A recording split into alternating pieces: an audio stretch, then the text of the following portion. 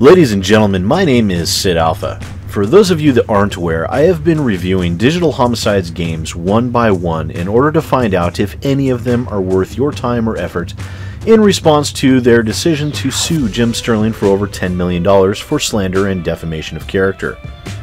I wanted to see if perhaps Jim Sterling was being too harsh on the brothers from Digital Homicide given their extremely heated past. What I have found since then has disappointed me, depressed me, disgusted me, and most certainly angered me. More so now than at any other time.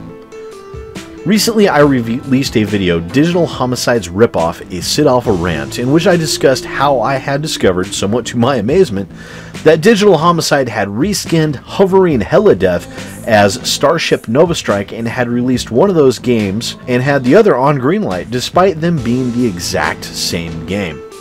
I was appalled and rightfully outraged at the unmitigated gall these two developers had shown in attempting to rip us off in such a fashion. This type of thing, while not illegal, certainly should be, as it is about as anti consumer and duplicitous as you can get. To my surprise, I found out this wasn't even the first time Digital Homicide had done this. Oh no, no. Their shameless disregard for anything but their own pocketbooks is shown here with Krog Wars and space-based game that is a clear redo of the old Atari game Alien Invaders. I was about to pass it off as harmless, and I was actually going to be somewhat neutral on the game as I reviewed it. It most definitely wasn't worth the $4 they're currently charging on Steam, but once it dropped to 99 cents or below, I thought it might actually be worth that price. Until I noticed some striking similarities. And then some more, until I finally realized that this was a reskinned Wyatt Derp. And looking at the game mechanics and the storefront within the games, I realized it was the same bloody game. Again. I will actually bring up the storefront menus for both games so you can see them now. Also, take a look at the games and what they do and try to tell me they're not the same fucking game. Well, this made me want to go and check out Wyatt Derp 2, and to my surprise, they didn't even bother to reskin the game to make it look different. They just changed the fucking camera angle on the goddamn game and attempted to pass it off as some sort of fucking sequel. Look at what happens when I clear an area in Wyatt Derp 2. In the middle of the screen there.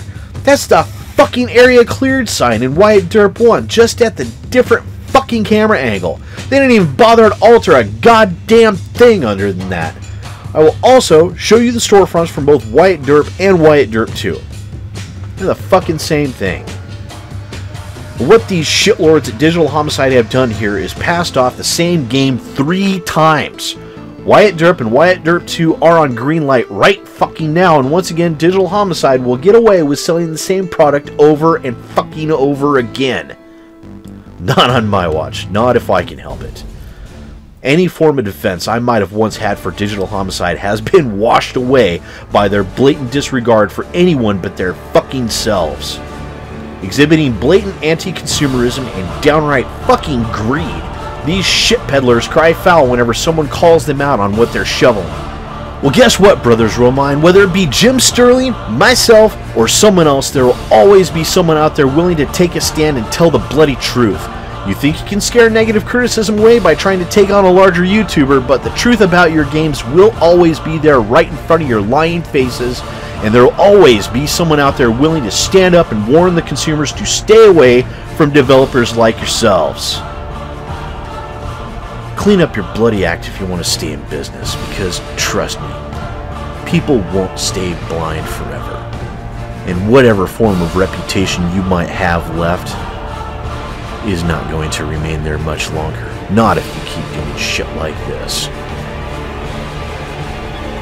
Once again, I am Sid Alpha, and I'll see you next time. Hi there, boys and girls. Thanks for checking my video out. If you liked what you saw, don't forget to hit that like button and maybe even that subscribe button. Trust me, it works really good. Don't forget to share with your friends, and if you're interested in following me on Twitter and Facebook, the links for that are in the description down below. I also have a Patreon if you're interested in helping to support the growth of my channel, and the link for that is down below as well. And once again, thanks for watching and supporting my channel, guys. I really appreciate it.